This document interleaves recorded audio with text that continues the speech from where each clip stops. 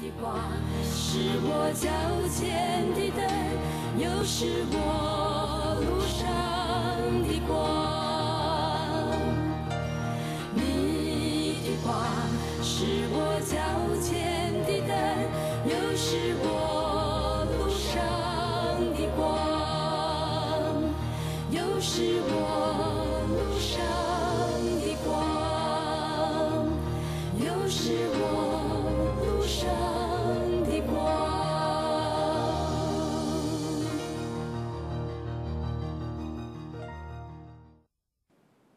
各位观众朋友好，我是蔡丽珍。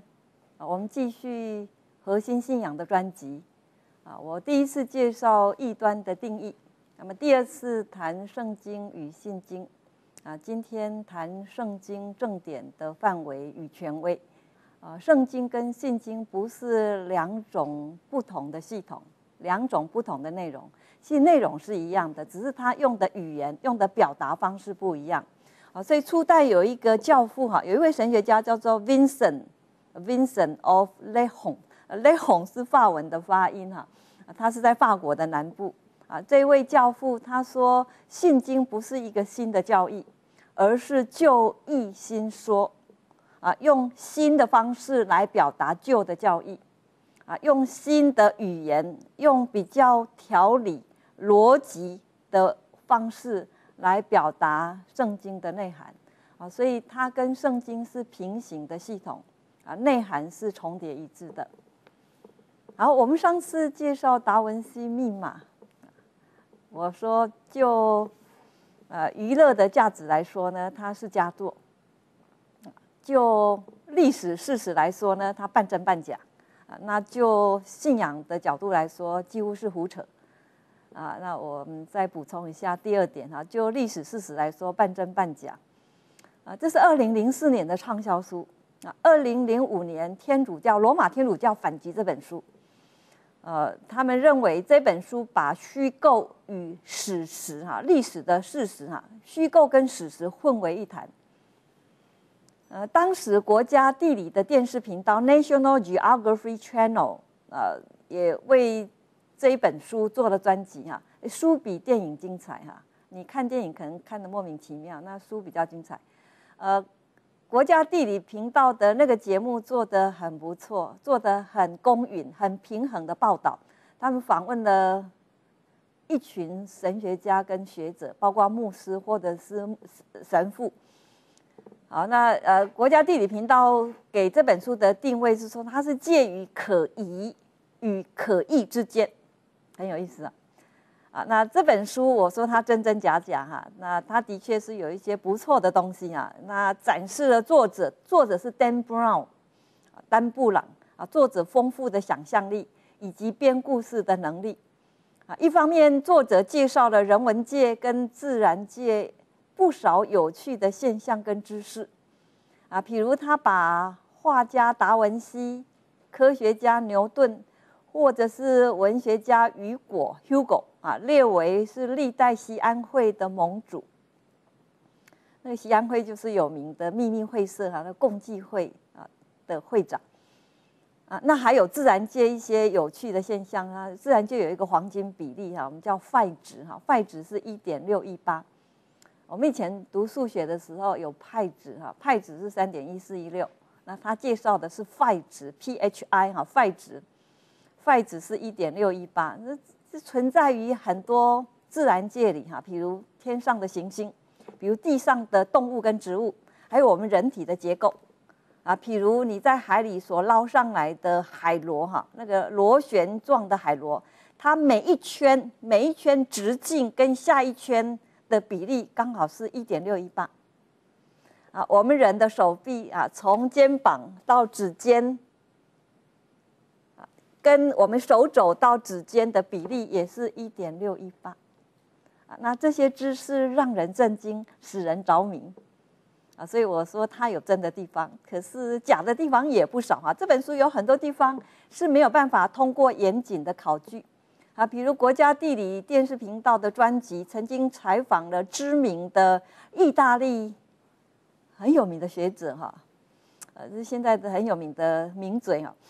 哎，他是语言学家啊，历史学家、美学家、建筑师，又是哲学家。他写了很多很多有名的小说啊，其中有好几本已经翻成中文了。他的名字叫做 Echo，E C O。Echo 他在呃批判这本书哈，他说西安会，西安会根本是在达文西之后三百年才成立的啊，也就是说是呃时间上都不拢啊啊，所以也就是说那胡扯的。好，这本书涉及我们基督教信仰的时候，很多是胡说八道哈。它是为娱乐而牺牲真理的最佳代表著作。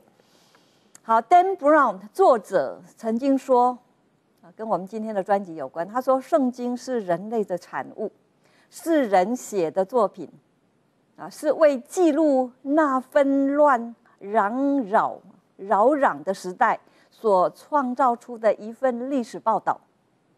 啊，经过无数次的修订、增补、翻译，这本圣经没有一个定本啊，定本就是固定的版本。很多基督教信仰，Dan Brown 说的哈，是经过辩论还有投票的程序而制定下来的，中间介入了很多政治斗争与政治角力。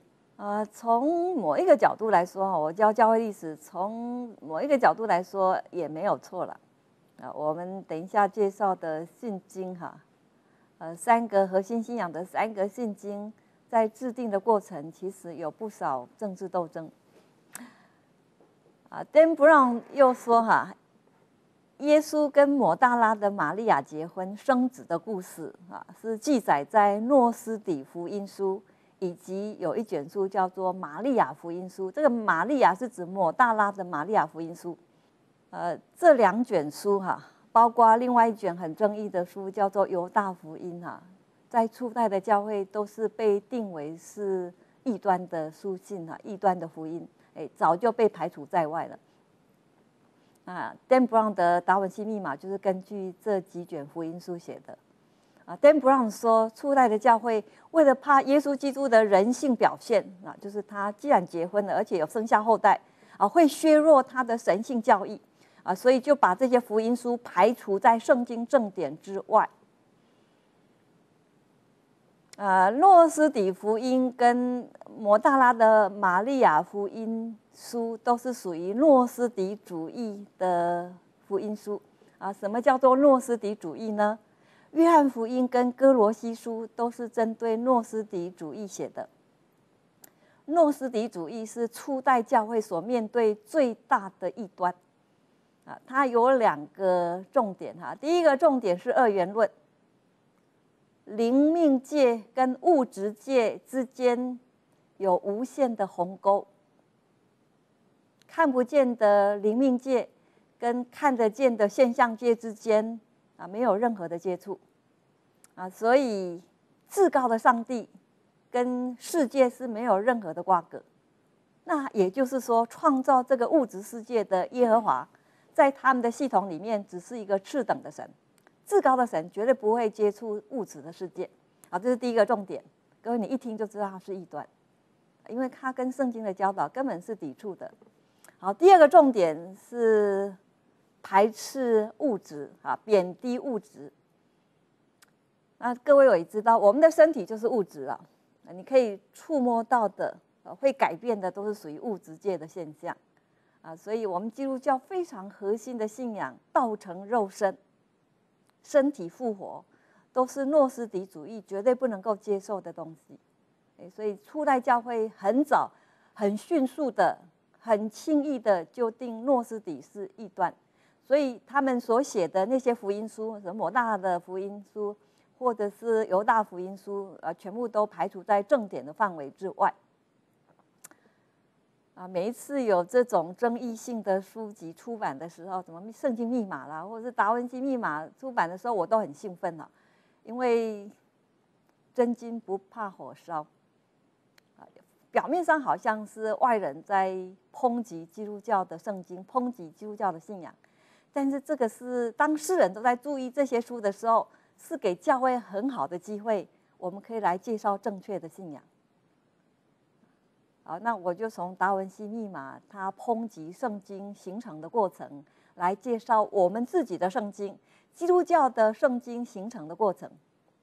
圣经正典形成的过程是一个漫长而复杂的过程，啊，但是却不是 Dan Brown 所说的是一个阴谋的斗争结果。啊，Dan Brown 还曾经说过，历史是赢家写的，成者为王，败者为寇，胜方是主流，是正统，败方是非主流，是异端。啊，胜。方会美化自己的动机，会丑化被征服的对手。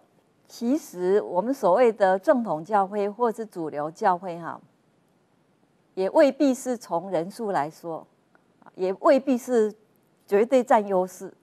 啊，在历史当中，主流教会或者是正统教会，常常是属于不利的劣势。啊，我们要经过很不容易的过程，很辛苦的过程，才能够。抵挡异端，所以啊，Dan Brown 所说的是他的一面之词哈。好，我们来谈谈圣经正典形成的过程。那回教跟我们读同一本圣经哈，啊，犹太教他们的圣经就是我们的旧约。啊，有一些基督教团体，他们除了圣经之外，还有呃加上其他的权威哈，比如呃回教有可兰经。啊，摩门教有摩门经，韩国的统一教又加上了创办人文贤明的著作。那天主教还有赤经，还有玫瑰经。啊，教会最早的确就像 Dan Brown 所说的啊，没有一个固定的版本。啊，初代教会有人任意的删减圣经，啊，譬如犹太人，他们只接受旧约，不接受新约。初代有一个异端叫做马吉安，他是教会的长老，啊，他对旧约的耶和华很有意见呐，这耶和华很残忍的样子哈，他要把以色列人带出埃及也就罢了，为什么要把人家的埃及长子全部杀掉？要把以色列人带进迦南，还要把人家迦南的原住民赶尽杀绝？所以他对旧约的那位耶和华上帝是很感冒的啊，所以他的正典里面是没有旧约的。啊，马基安是历史中第一个编圣经正典的人。那他的他的正典只有新约哈，而且他的新约跟我们的新约波又不一样了。啊，凡是新约圣经提到旧约的那位耶和华的经文，通通被他删掉。他的心目中最崇拜的英雄是保罗哈，所以保罗书信大部分是出现在他的新约正典里。好，这一些团体哈，都是先有哲学前提，再来决定他们需要哪一种正典。但是正统的基督教却是先有圣经正典，再来发展我们的信仰教义。耶稣曾经说：“为我做见证的，就是这经。”啊，这经是指旧约圣经啊，因为耶稣说这话的时候，新约圣经还没有形成。旧约是耶稣基督的预表，那耶稣基督是旧约的应验。至于新约圣经，更是以耶稣基督为启示的中心，是终极的目标。啊，希伯来书第一章第一节说：“神在古时借着众先知多次多方地小谕列祖，就在这末世借着他的儿子小谕我们。”啊，这个众先知指的就是旧约，那他儿子指的是新约啊，所以旧约跟新约都是上帝启示给他百姓的经典。啊，新约最后一卷书启示，最后有警告啊，如果有人在这预言上加添什么、删减什么，上帝必追讨他的罪。不过也有人挑战啊，说启示录的这一句话只针对启示录的这一卷书说的，就是启示录这一卷书里面你不可以增加什么、减少什么啊，没有关系哈。重要的真理我们不会只依靠一节经文。我们来看犹大书第三节啊，要为从前一次交付圣徒的真道竭力的争辩啊，这一节清楚的指示。圣经真道的范围啊，就是圣经是整体性的，是完整的。呃，新约圣经有几卷很晚才写成的书信啊，我们称为教牧书信啊，包括提摩太前后书啊，包括提多书啊，多次使用类似刚才犹大书的字眼。也就是比较含糊笼统的字眼，啊，像真道、善道，或者是纯正的道理这一类的字眼，来指示使徒所传讲那个整套完整的福音。啊，我们来读这几处经文哈，譬如提摩太前书第二章第四节，他愿意万人得救，明白真道。那个真道是指什么？那没有讲清楚。提摩太前书第四章第六节，啊，你若将这些事提醒弟兄们，便是耶稣基督的好执事，在真道的话语上和你向来所服从的善道上得了教育。啊，用的也是真道跟善道啊，这含糊的字眼，啊，在讲整套完整的福音。啊，提摩太前书第六章十二节，你要为真道打那美好的仗。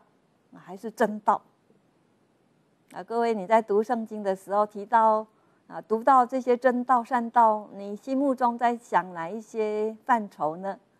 啊，提摩太后书四章二到三节啊，勿要传道，无论得时不得时，总要专心啊，并用百般的忍耐，各样的教训啊，责备人、警戒人、劝勉人啊，因为时候要到。人必厌烦纯正的道理，耳朵发痒，就随从自己的情欲，增添好些师傅。啊，用的也是含糊的字眼啊，纯正的真道。那但是，因为他反复不断的在使用啊，所以我们相信初代教会读到的时候，读到这些字眼的时候，他们都知道是在讲什么，他们都知道是指一套完整的内容。啊，有几个疑问哈，就是为什么只有新旧约圣经被列入基督教信仰的正典？啊，可能你听过次经跟未经哈，为什么次经跟未经被排除在外呢？我们刚才说异端诺斯底主义的福音书被排除了嘛？那次经跟未经也是如此。啊，初代教会曾经流传哈，就是我们在看他们的作品里面，他们引进据典的时候会常常使用一些书卷。啊，譬如希伯来福音，也不是希伯来书啊，是希伯来福音啊。埃及人福音、彼得福音，不是彼得书信啊，是彼得福音。保罗行传，不是行使徒行传，而是保罗行传。黑马牧人书、巴拉巴书啊，十二使徒遗训等等啊，这些都频繁的出现在初代神学家的作品里面，但是后来都没有被教会接受为正典。那今天我们接受为正典的书信啊，譬如启示录，啊，譬如希伯来书，啊，譬如雅各书、彼得后书，呃，都曾经被一些教会质疑过，就是争议性比较高的，啊，特别是启示录哈，启示录在当时的东方教会，啊，是比较被争议的，哎，就是很多人怀疑启示录的正确性。啊！但是后来经过了鉴定讨论之后，启示录仍然被列入正典。我们来谈谈赤经跟未经啊，啊，他们没有被列入正典，主要的原因啊，就是没有以耶稣基督为中心。这赤经跟未经其实还蛮蛮好看的，有点像你读达文西密码一样哈，就是趣味性很高，那就很吸引人阅读。比如《刺经》的第一卷书叫做《多比传》啊，《多比传》那个主角主人翁多比啊，他在路上散步的时候，被天空的一只飞鸟的大便弄瞎了眼睛。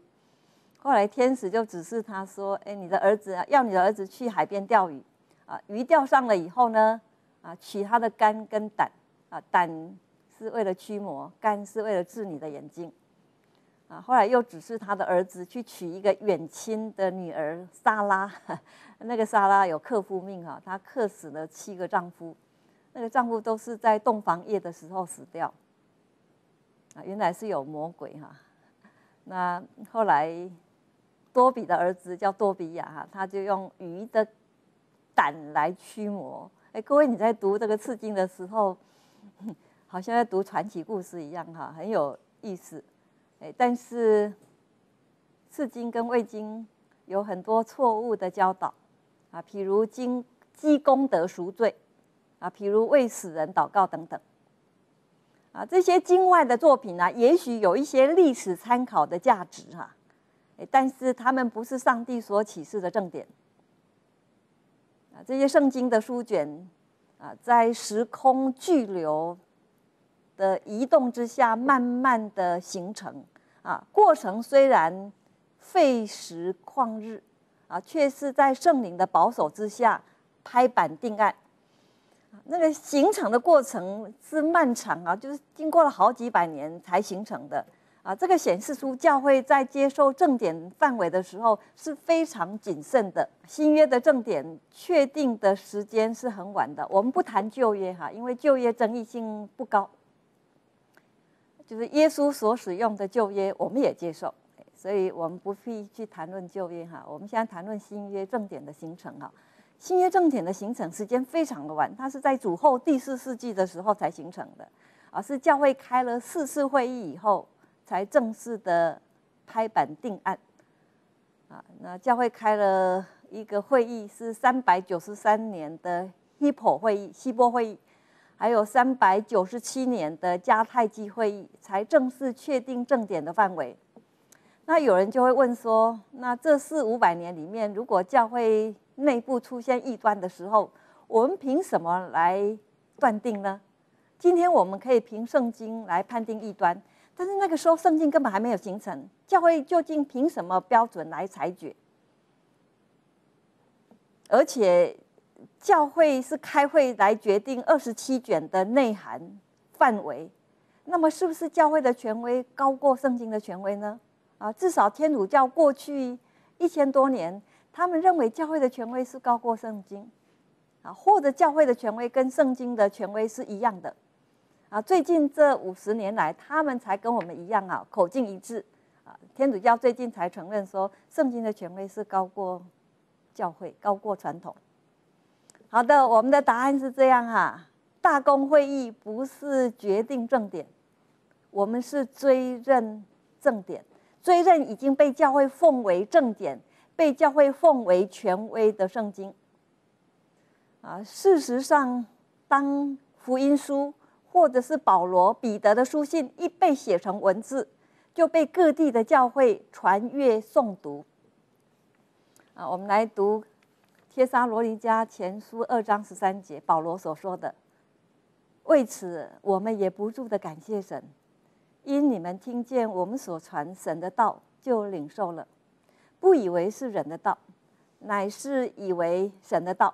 这道实在是神的啊，并且运行在你们信主的人心中，不是人所讲的，不是保罗所讲的，而是神的道啊。而且这个是因为神运行在人的心中，我们才承认，我们才接受那是神的道啊。所以教会是被动的追认。我们是追溯既往，已经被奉为正典的书为圣经正典。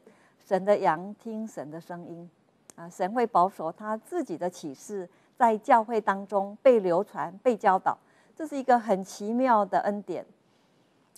呃，最近这几年有一个议题也是常常被人家讨论哈，还有人出版书在讨论这个议题：是究竟先有圣经还是先有教会？究竟是先有信仰，还是先有信仰团体？是先有以色列人，还是先有时间呢？啊，我让学生讨论这个问题，哇，七嘴八舌。表面上看哈，当然是先有犹太人，先有以色列人，先有希伯来人，上帝才赏赐十诫嘛。啊，十诫就是颁赐给以色列人。啊，所以好像是先有信仰团体之后。才有神的话，哎，但是各位你也不要忘记哈，不是所有以色列人都是神的百姓哦。要接受神的话语的以色列人才算是上帝的百姓。那也就是说，神的话语反过来会去规范以色列人啊，神的话语反过来会来筛选他自己的百姓。